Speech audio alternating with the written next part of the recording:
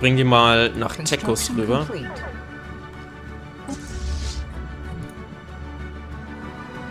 Da haben wir dann noch eine 244er Flotte. Da sind die Angriffsschiffe, also die, die, die Truppentransporter. Hä, wo ist denn seine Hauptflotte? Weg.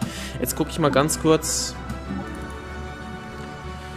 Kann ich hier noch irgendwas aufrüsten? Rein theoretisch. Nicht so wirklich. Nee, nicht wirklich. Wollte ich eigentlich denen nicht auch noch die Triebwerke geben? Wäre irgendwie sinnvoll, ne? Oh ja, genau, das Zeug, das habe ich glaube ich noch nicht überall, oder? Doch, habe ich tatsächlich überall. Okay, dann würde ich nämlich sagen, First Legion, die kann man nicht aufrüsten, die kann man aufrüsten. Ähm, wo ist unser Planet? Da ist der Planet. Ich sehe ihn gar nicht mehr, weil hier so viel, so viel Zeug rumschwirrt. Das ist furchtbar.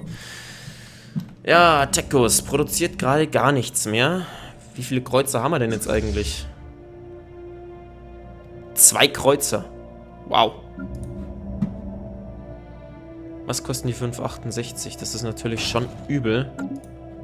Kann ich inzwischen mal mit euch wieder quatschen und handeln? Oder seid ihr immer noch pissig? Um Gottes Willen, die sind immer noch pissig. Guck's dir an.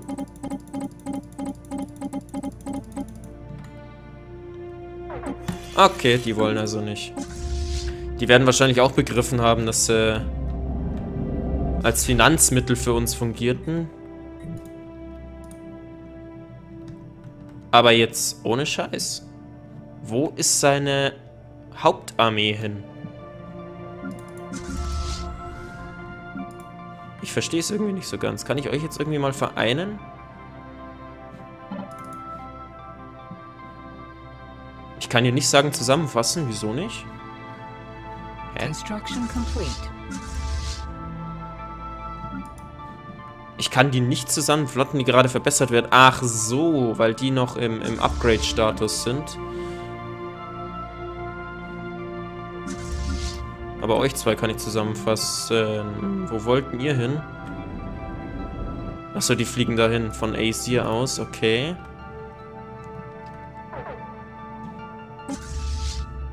Das ist die 244er Flotte. Die sollte man mal im Auge behalten.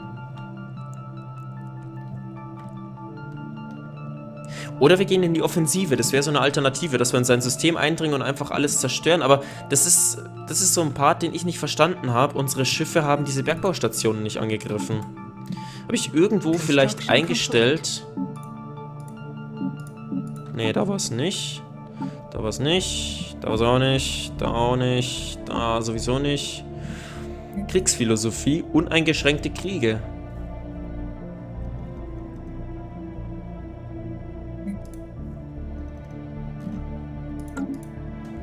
Ich verstehe nicht, warum sie die Bergbaustationen nicht zerstört haben. Ich meine, damit kannst du doch die Wirtschaft vom Feind extrem schwächen. Das verstehe ich nur wirklich nicht. Okay, was ist hier fertig? Schlachtschiffe. Okay, ich schalte hier nochmal einen Gang runter. Das könnte uns echt den Hintern retten. Und KI-Raketen. Okay, pass auf, dann unterstütze ich mal die Ingenieursforschung. Die wird ohnehin schon unterstützt. Ah, galaktische Armada. Oh Mann, warum habe ich das eigentlich nicht gemacht? Also ganz ehrlich, das war dämlich. Okay. Wir bauen uns unser eigenes Schlachtschiff. Und zwar, was haben wir denn da? Die Punktverteidigungsslots werde ich erstmal bleiben lassen. Wir gehen hier auf L-Slots. Oh, 4 M-Slots. Uh, das schaut schick aus. Da haben wir auch nochmal einen L-Slot oder zwei M-Slots. M-Slots könnten mal die ganzen Schwarmraketen hinsetzen mit einer Reichweite von 100. Und hier hätten wir dann Reichweite 110.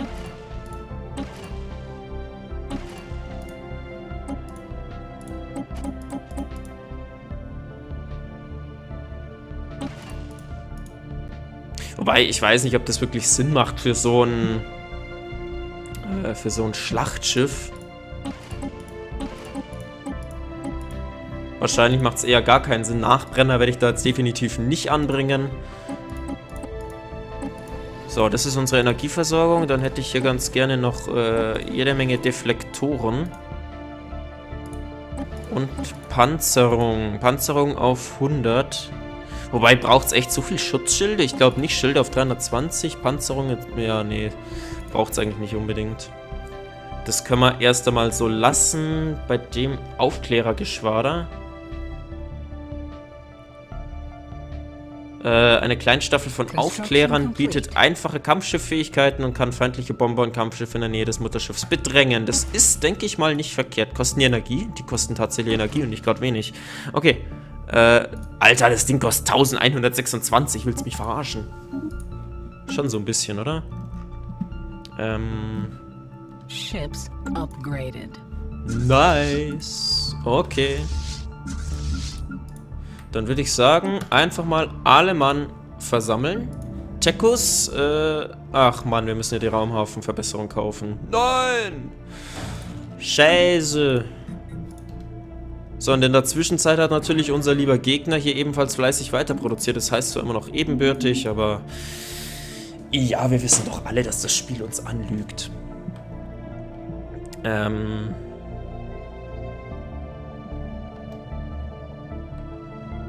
Ich könnte den Sektor gerade nochmal verwalten. Äh, nee, nicht so. So. Und dieses System hinzufügen, das da geht leider noch nicht. Aber dann kann er da nämlich auch noch Raumstationen reinsetzen. Und mit diesen komischen Handelsviechern da drin kann ich echt gar nichts machen. Ne? Ich kann sie nur ausschalten. Schade. Dieses Star Union wird schon langsam immer mächtiger. So, Handelsabkommen. Äh, Energy Credits sofort. Mineralien sofort. Nee, also, okay, die sind definitiv pissig, weil wir Krieg führen gegen diese Viecher da. Könnte ich hier theoretisch sagen, dass er mir ein System bereits abtritt? Das würde der sogar akzeptieren. Ich glaube, ich bin. Weil dann können wir uns vielleicht dieses System hier ergattern. Fucking... Äh, weißt du schon. Das steht aber nicht zur Auswahl. Achso, das sind die Planeten von ihm. Hier sind die Dinger, die ich haben möchte. So, ich verstehe. Kriegspunkte plus 6, relative Flottenstärke und Kriegsdauer. Äh... Aber ich könnte meine Planeten aufgeben und das... Ja, nee, okay. Okay, okay, okay. Ähm, das Forschungsschiff sollte ich vielleicht mal wieder losschicken.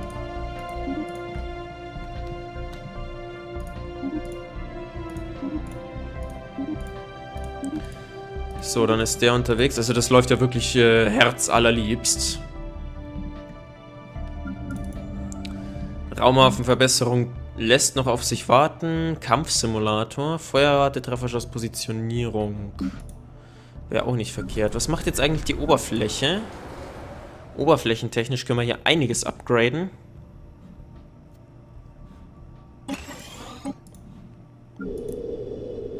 Schau mal, den können wir aufleveln. Das mache ich gerade mal. Und hier könnten wir die Energieversorgung raufsetzen. Braucht es aber nicht wirklich. Wir sind bei plus 90. Also das hebe ich mir mal lieber noch auf. Okay, wir können sämtliche Planeten aufleveln, was das angeht. Äh, okay. Gut. Dürfte ich jetzt mal erfahren, wo der mit seinen ganzen Flotten hin ist? Die sind alle weg. Die sind nicht mehr in unserem Reich, zumindest nicht in unserer Sensorreichweite. Das ist sehr seltsam. Wir haben aber Gott sei Dank wieder eine 4000er Flotte, das heißt schon was. Was sagt denn jetzt eigentlich hier der Stand? Ebenbürtig.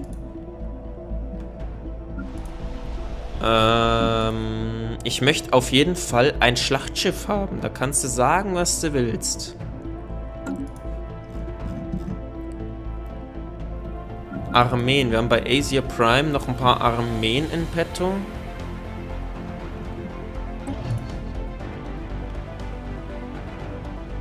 Construction complete. Oh, endlich. So, und jetzt ein Schlachtschiff. Dauert leider Gottes noch ein bisschen. Ah, einen Monat noch. Okay, was haben wir denn da? Feldreparaturen. Unterhaltskosten Armeen werden reduziert. Das ist gut. Was haben wir jetzt als nächstes? Ah, Erlaubskosten Ressourcenproduktion plus 5%. Es ist alles ziemlicher Schwachsinn. Terraforming-Stationen und dann ermöglicht den Abbauen von dem und dem. Kann man dadurch diese, diese Felderanzahl erhöhen? Eigentlich nicht wirklich, oder? So, der braucht 12 Monate, 34, 15, 9 Monate. Ach, mach mal das Biolabor, scheiß drauf. Dauert nur 9 Monate, dann ist er fertig. Wird eigentlich die Ingenieursforschung jetzt unterstützt? Ja, wird sie. Okay. Oh, wir können uns unser erstes Schlachtschiff leisten. Das macht einen Schaden von was? Jetzt muss ich mir die Werte gerade nochmal angucken. Ich merke mir sowas ja grundsätzlich nicht. Schaden von 60,95. Reichweite haben wir hier 110, teilweise 100.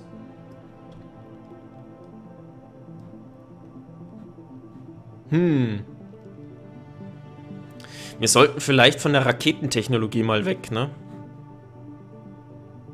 Wobei Raketen halt die größte Reichweite haben. Vielleicht gehen wir auf, äh, auf kinetische Waffen, das heißt Railgun-Technologie. Oder aber, warte, ich schalte mal ganz kurz das Licht bei mir daheim an, dass ich ein bisschen was sehe.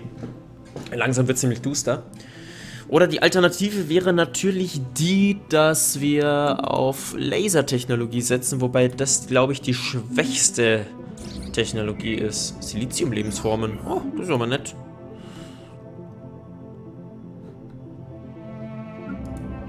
Aber weißt du was? Während der das Schlachtschiff baut, baue ich mir hier einfach nochmal ein paar Zerstörer.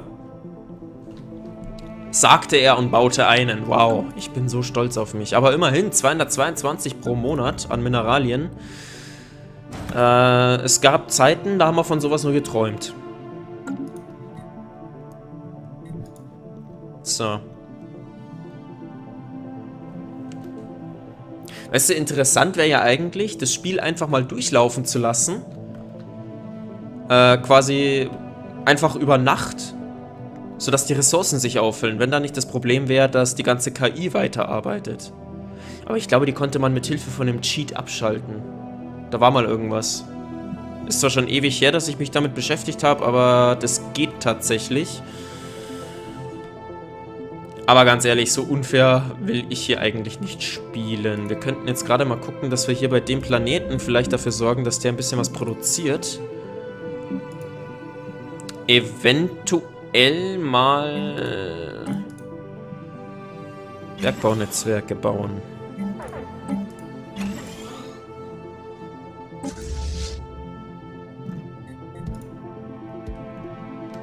Okay, jetzt taucht eine seiner Flotten hier oben auf. Äh, das finde ich nicht so geil.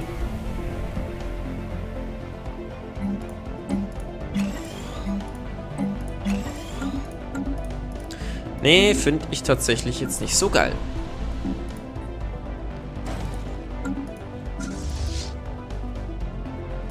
Aber okay. Hostile fleet sighted. Evading hostiles. Ähm, ja, das ist schön und gut, dass der jetzt hier reinfliegt, aber was will er denn hier bitte? Wenn er jetzt da angreift, ist er tot. Das sind zwei Raumstationen. Die zusammen weit über 2000, nee, 3000 Kampfpunkte ausmachen. Ja, unser Konstruktionsschiff haut erstmal ab. Alter, ernsthaft? Der will mit einer einzelnen Korvette, guck dir das an. Will der hier angreifen?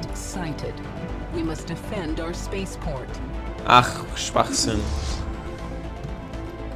Ich nehme alles zurück. Wir sollten unbedingt unsere 4000er Flotte da hochschicken. Okay, ähm, das ist natürlich so ein typischer Haha-Effekt. Da kommt zuerst diese kleine Korvette angeflogen und man denkt sich, was soll der Schmarrn? Und dann kommt die Hauptarmee. Wobei, nee, warte mal. Das ist nicht seine Hauptarmee. Das ist, das ist ja schon wieder eine andere Flotte. Das ist eine 2-5er Flotte. Das andere Ding, das war irgendwas mit 3000. Oh, leck mich doch am Arsch.